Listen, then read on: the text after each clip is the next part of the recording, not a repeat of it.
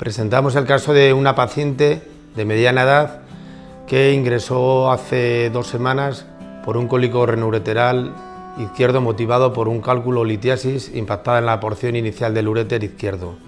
La particularidad que tiene este caso es que la paciente tiene una ectopia renal, es decir, un riñón no ubicado en su zona habitual, que es la zona lumbar, sino en la pelvis renal, y que además eh, presenta otro cálculo en el propio riñón, el ureteral y el renal, por tanto. La cirugía retrógrada intrarrenal aporta la ventaja de baja invasividad, por lo tanto, estancia corta, porque el, grado de complicaciones y la frecuencia de complicaciones es muy baja.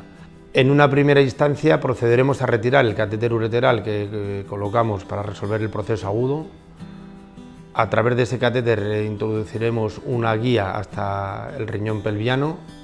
A través de esta guía un introductor o navegador que llamamos, por el cual en un segundo tiempo vamos a, pasar un ureteroscopio flexible. La particularidad de este ureteroscopio flexible es que su punta la podemos manejar desde el exterior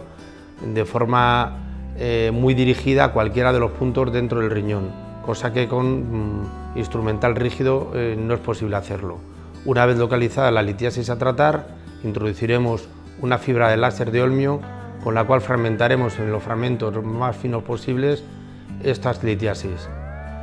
Para completar el procedimiento intentaremos rescatar algún fragmento de esa litiasis para que podamos hacer un análisis bioquímico del mismo y ofrecer un tratamiento médico de cara a que no haya una recurrencia en la fabricación de litiasis.